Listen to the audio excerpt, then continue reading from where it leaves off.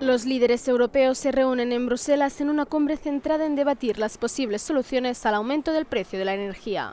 Pero los países europeos están profundamente divididos, tanto en las posibles medidas a corto plazo para bajar el precio de la energía, como en cómo encarar la transición energética a largo plazo sin aumentar los costes para los consumidores. Hay pocas esperanzas de que estos problemas se resuelvan hoy.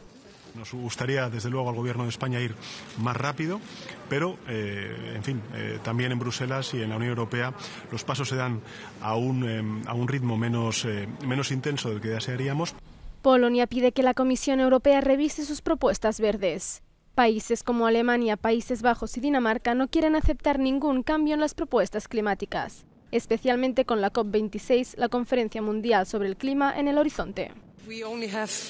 Ahora solo tenemos una respuesta. Esa es la COP26. Necesitamos acordar altas ambiciones nacionales, altos objetivos comunes y también financiación. Pero ajena a la crisis energética, una disputa entre Bruselas y Varsovia podría eclipsar el debate. La Comisión ha amenazado con castigar a Polonia ante sus desafíos a la ley europea. No actuaremos bajo la presión del chantaje. Estamos preparados para dialogar. El líder neerlandés apuesta por una línea dura.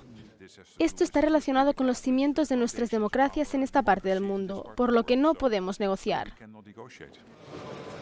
El primer ministro de Hungría, cuyo gobierno ya se enfrenta a posibles sanciones de la Unión Europea, ha salido en defensa del líder de Polonia. Polonia es el mejor país de Europa. No hay necesidad de sanciones. Es ridículo. El debate cogerá altas temperaturas, pero las conclusiones se prevé que sean más bien frías.